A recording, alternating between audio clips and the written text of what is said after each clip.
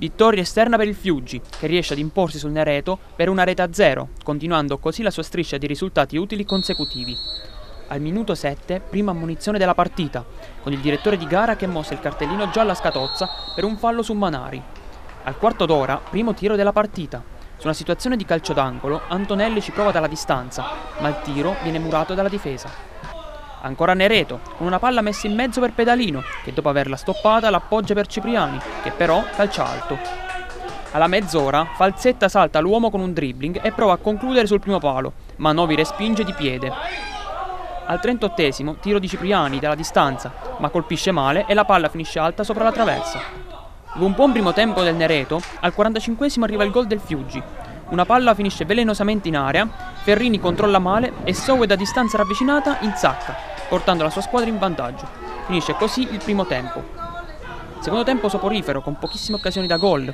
Il Fiuggi controlla la partita cercando di sfruttare gli errori della squadra avversaria e il Nereto cerca invece di trovare il pareggio.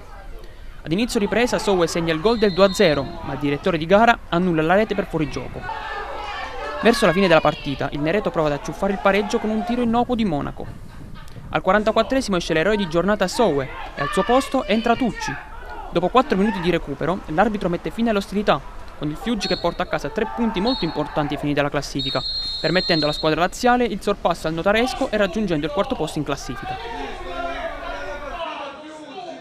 Avete sofferto un po' più del previsto oggi?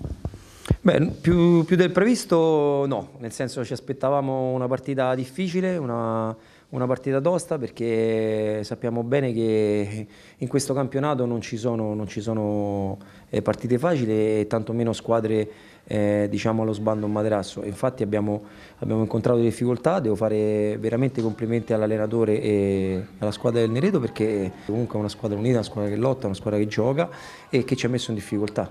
Naturalmente poi abbiamo, abbiamo, sbloccato la partita e è andato da lì il secondo tempo siamo entrati con un po' più di, diciamo, di sicurezza in noi e potevamo anche magari fare un altro gol, però credo che sia stata una partita eh, sbagliata da noi all'approccio iniziale, però dopo ripresa subito a livello, a livello di testa e anche a livello di, eh, di gioco. Nonostante ciò sapevamo che, che era, era, questa la difficoltà di questa partita. Siamo rammaricati più che altro perché ecco, la partita mm, secondo me l'abbiamo gestita anche mm, molto meglio di loro e soprattutto il primo tempo ecco, se c'era una squadra che doveva essere in vantaggio era il Nereto.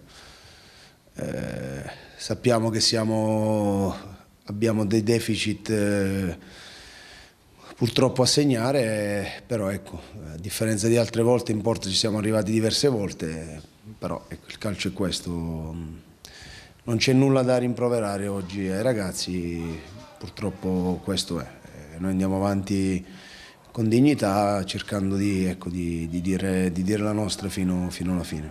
Noi abbiamo il dovere con noi stessi di, proseguire con con, a testa alta e con, difendendo con dignità quello che è il nostro contratto di lavoro, perché nel, negli anni ci sono promozioni, salvezze, retrocessioni, è, purtroppo tocca a tutti.